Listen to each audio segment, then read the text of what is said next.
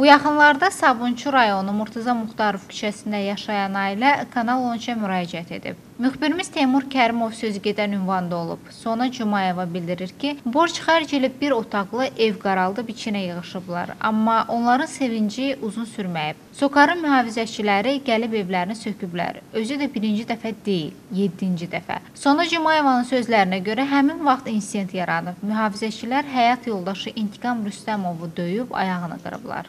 Düzdür, biz ev, evi deyəndə indi tikdik, sökülmüşdü də, keçən dəfə sizə də müraciət eləmişdik. Sonra ikinci dəfə də nəsə gəldi, qılçıqına şikayət eləmişdik, nəsə özləri də gəldi, getdi. Ki, biz bunlarla razılaşdıq, biz şikayət ərizəsini geri götürdük. Ki, dedi ki, biz göz yumacaq, siz evinizi tikərsiniz, yaşayarsınız. Biz də o hesabla e, mühafizə xidmətinin böyüyü var, Şamil müəllim. Odur, Kərimdir, İbrahimdir, hamısı da. Yəni dedi ki, Şamil olarıq döyü, mənlikdir, mən gələcəm, mən də göz yumacam.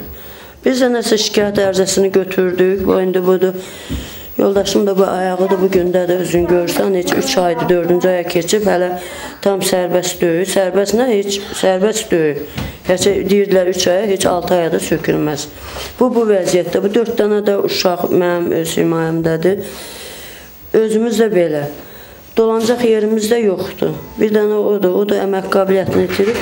Nəsə o bizə söz verdiyinə görə, mənə düz demişdilər tikmə, yəni o bizə arxayın saldığına görə mən də getdim borca xərcə girdim, zorla bu evi bir otaq evi demişdi. Elə bir otaq evi biz də tikdik, bir ay yarımdır yaşayırıq.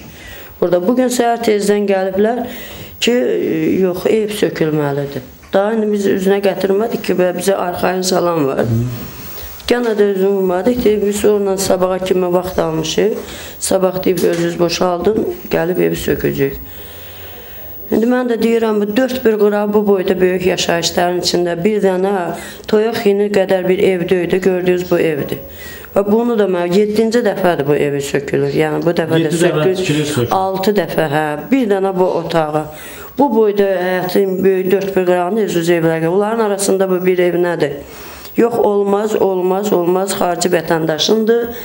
Qanunsuzdursa, və onlar qanunsuz deyil. İndi nə bilim, mən də üzüm tuturam dövlətimizə, qanun qaydamıza, mən onlardan kömək istəyirəm. Deyir ki, olmaz. Yəqin ki, bizə də bir kömək çıxar.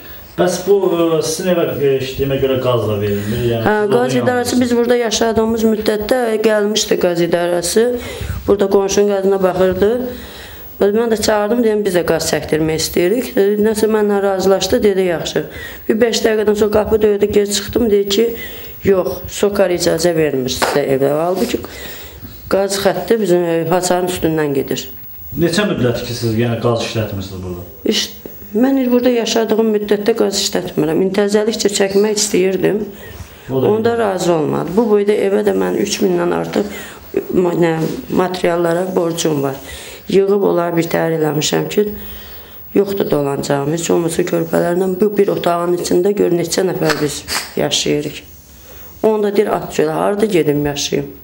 İntiqam Rüstəmov deyir ki, Sokarın mühafizəçiləri onlardan şikayət etməyəcəkləri təqdirdə evlərinin tikintisinə kömək edəcəklərini bildiriblər. Ancaq hər şey əksinə olub. Burada, e, burada Mahmud Muxtarov qəsəbəsində bir otaqlı ev tikdik.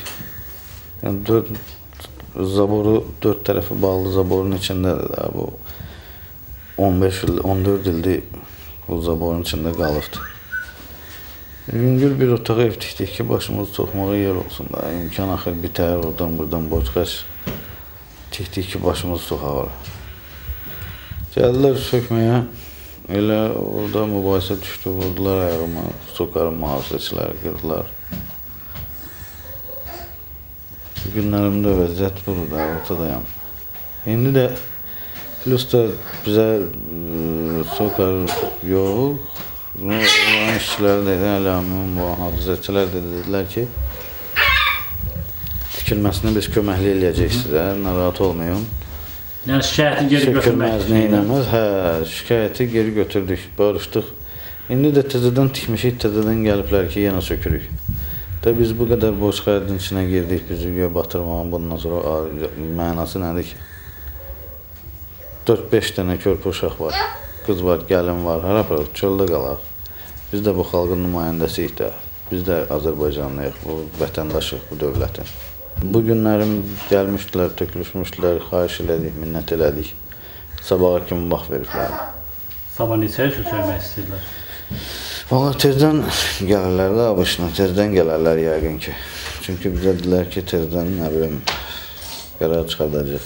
Mən də xahiş elədim onlardan ki, mənim evimə belə qəşət nasib etmək lazımdır. Versinlər məhkəməyə, dövlətimiz var, qanunumuz var. Versinlər məhkəmə qanuni yolla. Məhkəmə qərar çıxardar, pojolsta mənim gözüm üstə. Yəni dövlətin qanununun qarşısında acizik. Amma belə vəhşətlə gəlib evi, eşi, uşaqları tarmar eləyib söküb dağıtmaq lazımdır. Müxbirimiz evi sökülən ailə ilə Sokarın əməkdaşı arasında olan telefon söhbətini lentə alıb. Canımdan keçəcəm, tüpürəcəm, hep belə yaşayacaq, onsuz zülümdür. Bir evi ki, mən tikib yaşaya bilmirəmsə, qoyub gəl bu türmədə yatmaq yaxşıdır. Onu eləyəcəm mən sabah. Allahın adı haqqı sabahşı gün bəlkə də bir 10 qapıya meyit gedəcəkdir. Mən onu eləyəcəm. Yox, sabah həqiqətən eləyəsiyəm. Bax, bu başdan xəbərdarlıq da eləyirəm. Gözümə də heç nə görünmür. Yəni bu dövlətdə bir qanunu mən pozuramsa, mən də eləyəcəm. Bəlkə qanunlar düzələr. Qanun pozan mən deyiləm də axıra kimi də pozacağam qanunu. Kanal 13 olaraq qarşı tərəfində mövqeyini işıqlandırmağa hazırıq.